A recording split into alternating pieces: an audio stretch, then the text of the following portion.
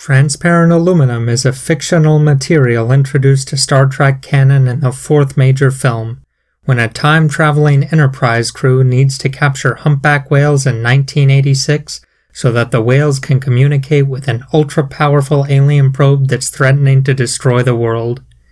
It makes more sense in context. Maybe. But just how possible is transparent aluminum? In this video, we'll use real material science principles and see just how close we can get to Star Trek in the real world.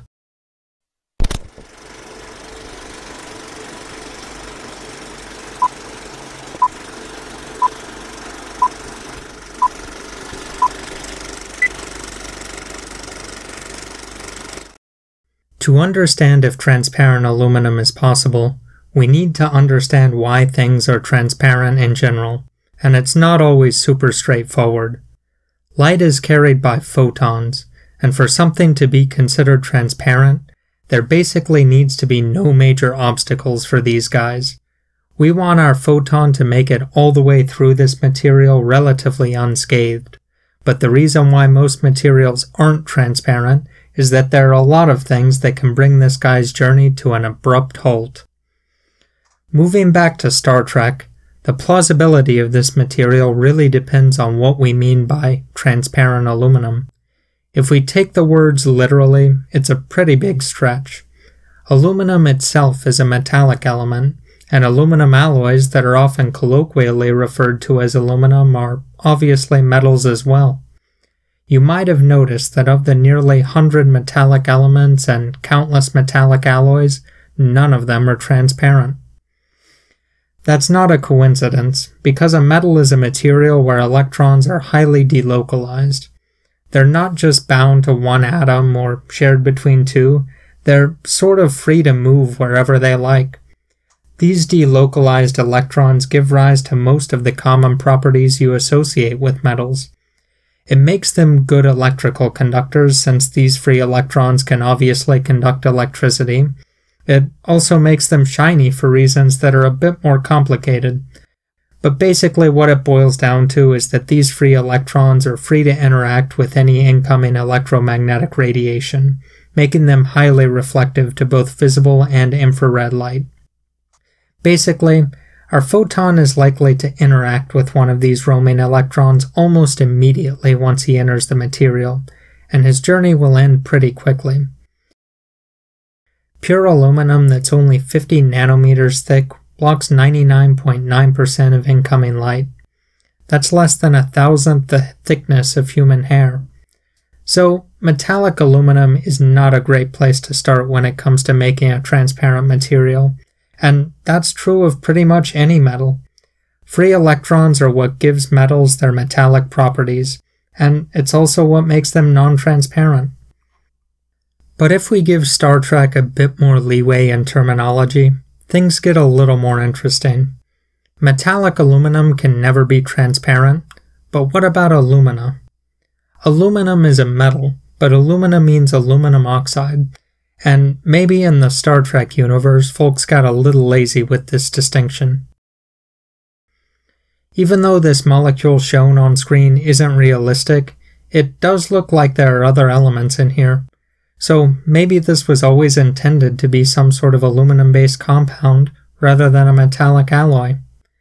Anyway, since the aluminum atoms in alumina share their outermost electrons with the oxygen atoms to form this bond, we no longer have free electrons running around in the material. At an atomic level, light doesn't interact much with alumina, the bonding is so strong that the energy required to make these electrons jump to the next available energy level is deep into the UV range, so our photon can sneak through without disturbing them. Even though alumina specifically refers to aluminum oxide, other elements like nitrogen or fluorine that strongly bond to aluminum can produce a similar effect.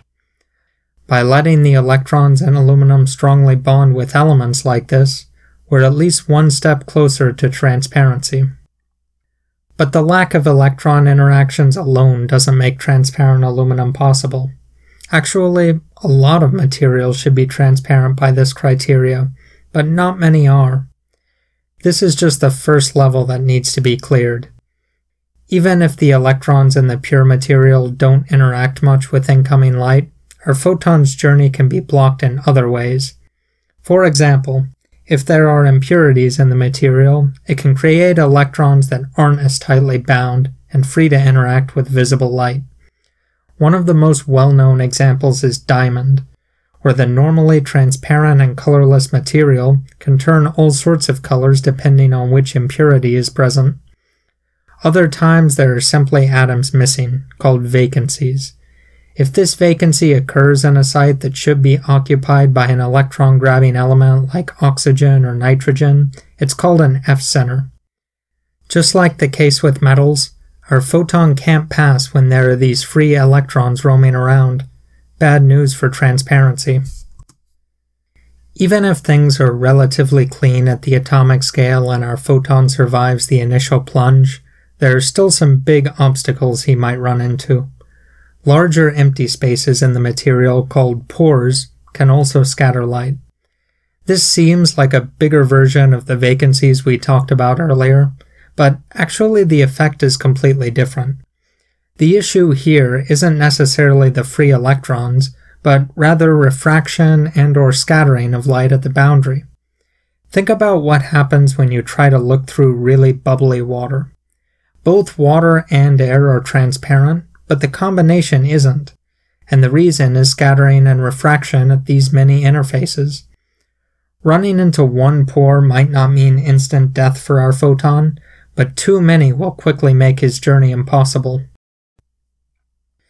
A similar problem occurs with crystal structures in the material.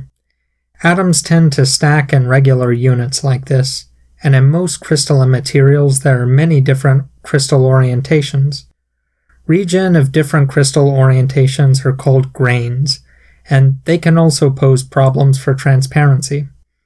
If the grain size is near the wavelength of visible light, the scattering will be particularly strong.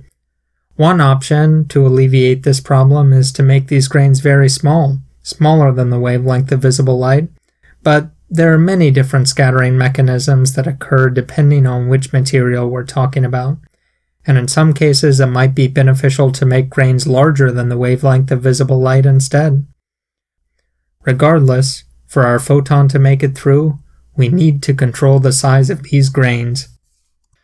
So for Star Trek's transparent aluminum to be somewhat plausible, their aluminum based material is going to have to make it through all these levels. It needs to be something with strong bonding like an oxide or nitride, it needs to be relatively free of impurities or vacancies at the atomic level, porosity must be minimal, and grain size must be carefully controlled. It's a tremendous challenge, but it's one that cutting edge material science research might just be up for. Amazingly enough, compounds that contain aluminum are some of the best candidates for high strength transparent materials. You probably know of at least one already. The gemstone sapphire is actually alumina. It's typically sold as a blue stone because of the impurity coloring processes we discussed earlier, but pure sapphire is actually a colorless stone. It's commercially available as white sapphire, and it's almost as hard as diamond. Tiny gemstones like these single crystals are obviously not suitable for window sized applications, but we have a few other solutions. A couple well studied examples are pure alumina and magnesium aluminate spinel, both of which can be fairly transparent and much stronger than typical glass. In these materials, the tough part is trying to minimize porosity and control grain size. Oxides like this usually have very high melting points, so the typical way to form them into the desired shape doesn't involve melting, but rather shaping a fine powder of the oxide and baking it until it forms a solid chunk. This process of densifying the powder is called sintering, and the conditions need to be finely optimized for things like alumina or magnesium aluminate spinel to be transparent. One of the biggest issues is that it's hard to create a material that is fully densified from this loose collection of powder. There's usually a bit of remnant porosity. There are many specific techniques aimed at reducing this, and ongoing research to improve them, but it's already possible to create reasonably transparent materials from these two options. But the real champion of transparent aluminum candidates is probably aluminum oxynitride. Here too, decreasing porosity is important, but the interesting thing is that the approach for grain size is kind of the opposite of the previous two. Grains are deliberately made very large to reduce the total boundary area, but it's still typically made through powder processing techniques. The result is an incredibly clear and strong material. It's even been proposed as one of the leading candidates for next generation transparent armor. One somewhat well known test showed it outperforming traditional bulletproof glass laminate, despite being less than half the thickness. Scotty's claims of transparent aluminum being many times stronger than plexiglass might not be all that outlandish. One remaining issue is the price. It's much more expensive than most transparent materials, but in terms of pure performance, aluminum oxynitride is the real deal. Naturally, the internet has rushed to call this material transparent aluminum, and it's even marketed as such in some cases but I do have a few issues with this label. We don't call regular window glass transparent silicon or sunscreen transparent titanium. Labeling an oxide or nitride like this as if it's a metallic material seems a bit of a stretch. The distinction between metals and metal oxides isn't just a pedantic one, because their properties are completely different. Aluminum oxynitride is a ceramic material. It's incredibly strong, but it's still going to shatter like glass rather than bending like aluminum. It's also going to be an electrical insulator since there aren't the free electrons of aluminum. But overall, that's a minor issue in the grand scheme of things. How close can we get to Star Trek's transparent aluminum in the real world? The answer is that we pretty much already have it if you give a bit of leeway in terminology. Metallic aluminum can never be transparent, and it might be a bit of a force fit to call compounds like aluminum oxynitride transparent aluminum, but they are transparent. And it's amazing that some of the best options for high strength transparent materials are aluminum compounds. Transparent aluminum isn't highly illogical after all.